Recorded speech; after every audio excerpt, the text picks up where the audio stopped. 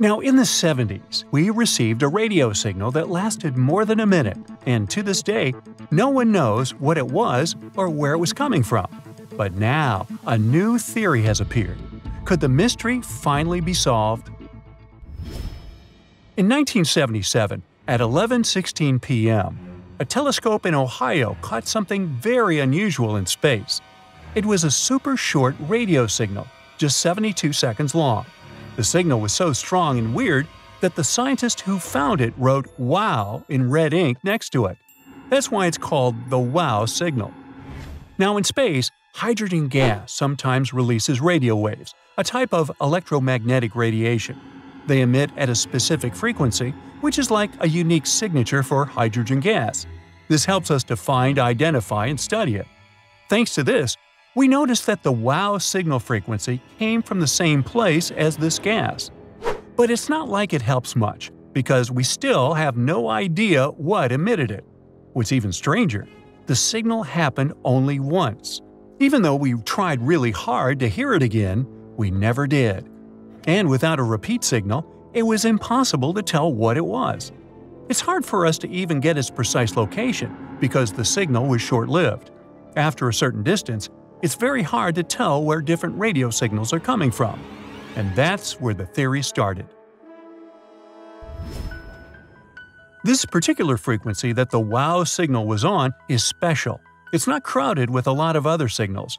It's like finding a quiet spot in a noisy room because there's not much interference or noise. So if you send a signal on this frequency really far, it won't get lost or distorted. And that's curious, because it means that there might be a perfect place to send messages if we want to communicate with any extraterrestrial creatures out there. So, could it be that they're trying to contact us? Well, it's a real scientific possibility. No one knows for sure what caused the WOW signal. But if it was from something extraterrestrial, they definitely communicate not like we do. The signal looked nothing like a deliberate message, and that's weird that it happened only once. If it was little green people trying to contact us, it would be weird for them to only try once. But, just in case, in 2012, on the 35th anniversary of the WOW signal, we decided to send out a bunch of messages toward certain stars. We used a special code to make sure any extraterrestrial creatures who got the messages would know they were from intelligent beings like us. Well, mostly intelligent. We even used a lot of power to make sure the messages could travel really far. Scientists have come up with lots of ideas about where the WOW signal might have come from, but none of them are widely agreed upon. We know for sure that it didn't come from anything on Earth, Earth noise can interfere sometimes, but this signal definitely came from outer space. There was also a theory that the signal might have bounced off some space junk and come back to Earth. But later, we realized that the requirements for that to happen were very unlikely. One potential idea is that the signal might have been caused by twinkling in space, like how stars twinkle in the sky. But even if that's true, it doesn't rule out the possibility that the signal was made by something artificial, Another idea is that it could have come from something spinning, like a lighthouse. Or maybe it was a signal that changed its frequency over time. Or it was just a one-time burst. It's been 50 years since a strange radio signal was caught. But recently, a new idea about its origin sparked up. Now, imagine a comet streaking through space, leaving a trail of gas behind it like a tail. This gas could be key to understanding the mysterious radio signal that caught astronomers' attention all those years ago.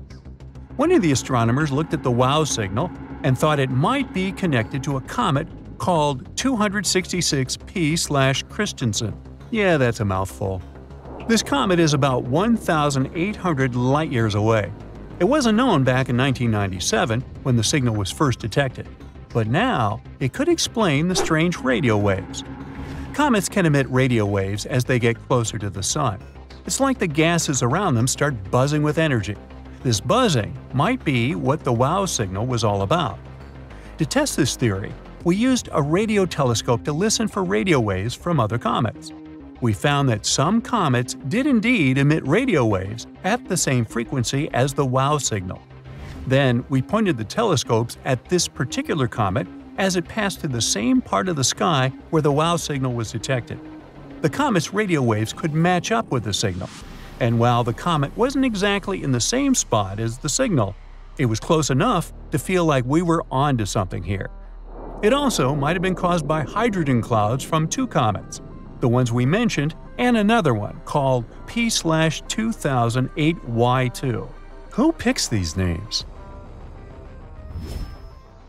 But not everyone is convinced by that idea.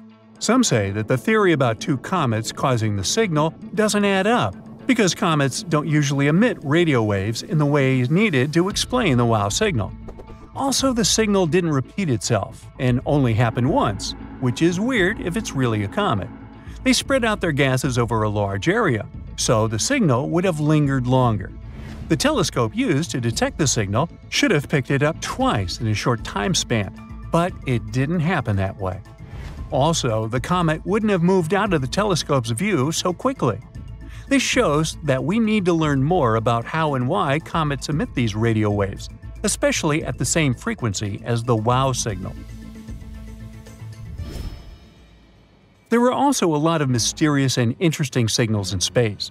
Most of them come from natural events, like something called fast radio bursts.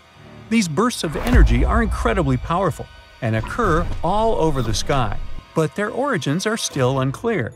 They last for only a fraction of a second. Maybe the telescope caught just a part of one of these bursts. There's also a strange signal we've been receiving since 2018. This one actually repeats every 22 minutes, but despite our efforts, we can't figure out where it's coming from. It started way back in 1988, and we've been investigating this mystery for 36 years now. At least here we know the distance of the mysterious object sending the signals, a distant 15,000 light years away. Some speculate that these signals could be from extraterrestrial beings trying to communicate with us. However, we can't say for sure without solid evidence, so it remains speculative. Another explanation is a pulsar theory.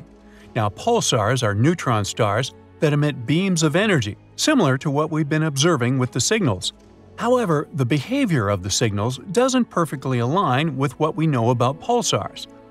There's also the magnetar theory, suggesting that these signals could be coming from supercharged neutron stars called magnetars. Yet, none of these theories fully explain the strange behavior of the signals. Maybe there's a new, undiscovered phenomenon in the universe. So, even though comets are a possibility, there are still a lot of unanswered questions about the WOW signal. We don't know what caused it, and we may never know. We don't even know if it came from deep space or from somewhere inside the solar system. In any case, even if the WOW signal had a natural cause, it doesn't mean that extraterrestrial life doesn't exist. The study that talked about this also discussed a sun like star that could be a great place to look for signs of technology from space. There are 14 more stars similar to our Sun in space, although we're not totally sure about their brightness. This opens up exciting possibilities for hunting down signs of advanced civilizations beyond Earth. Ooh. That's it for today. So hey, if you pacified your curiosity, then give the video a like and share it with your friends. Or if you want more, just click on these videos and stay on the bright side.